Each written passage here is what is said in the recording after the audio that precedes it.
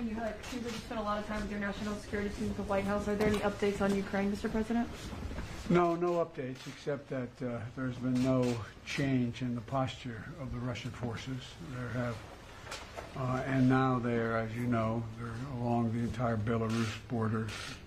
And uh, I, uh, I made it clear to uh, early on to uh, President Putin that if he were to move into Ukraine, that there'd be severe consequences, including significant economic sanctions, as well as I'd feel obliged to beef up our presence, NATO's presence in on the Eastern Front, Poland, Romania, et cetera. And uh, so, uh, so, but I see, uh, I was watching one of you on television pointing out the fact that, uh, and I think you got it right, whoever it was, I'm embarrassed, I don't remember who, saying that this is all Putin. I don't think even his people know for certain what he's going to do. Would you ever see yourself personally sanctioning him if he did invade Ukraine? Yes, You would. I would see that.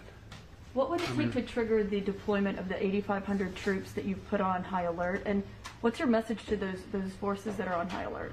Those forces on high alert are, they're part of a NATO operation, not a sole U.S. operation, and I've made it clear to uh, President Putin that we would be, we have, a- we have a sacred obligation, Article 5 obligation to our NATO allies, and that if in fact he continued the buildup and/or was to move, we would be, uh, be reinforcing those, those troops, uh, and I've spoken with every one of our NATO allies in person, uh, not person, virtually, and we're all on the same page. We've got to make it clear that, uh, um, that there's no reason for anyone, any member of NATO, to worry whether or not we would, we, NATO, would come to their defense. And Mr. President, what Thank about, guys, guys, thank you guys, thank you guys. can you, may I ask you about what, what, when you'll make a decision about deploying those troops? What will Well, lead to that? depends. What would lead to that is what's going to happen, what Putin does or doesn't do. And uh, I may be moving some of those troops in the nearer term, just because it takes time. And uh, and again, it's not it's not provocative. It's just exactly what I said. Is that is that as long as we have to reassure. If you notice, you don't see a lot of concern uh, in terms of uh, their security of our, and of our our NATO allies in Western Europe, but in Eastern Europe, there's reason for concern. They're along the Russian border, they're the Belarus border, so everyone from Poland on has, has reason to be concerned about what would happen and what spillover effects could occur. We have no intention of putting American forces, our NATO forces, in Ukraine.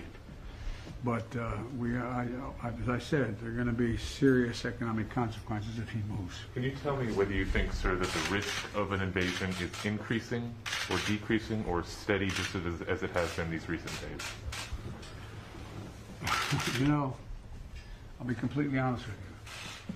It's a little bit like reading tea leaves. Ordinarily, if we're a different leader, the fact that he continues to build forces along Ukraine's border from Belarus all the way around, you'd say, well, that means that he is looking like he's going to do something. But then you look at what his past behavior is and what uh, everyone is saying and his team, as well as everyone else, as to what is likely to happen. It all comes down to his his decision. Look, let me conclude by saying there will be enormous consequences if he were to go in and invade, as he could, the entire country, or a lot less than that as well, for Russia, not only in terms of economic consequences and political consequences, but it'll be enormous consequences worldwide. This would be the largest, if he were to move in with all those forces, it'd be the largest invasion since World War II. It would change the world. Thank you guys, thanks guys, let's go, thank you guys, let's go, thank you guys. You guys, come on, let's go, thank you.